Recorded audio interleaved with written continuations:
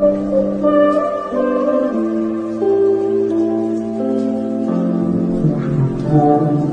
want to be as beautiful as the ocean.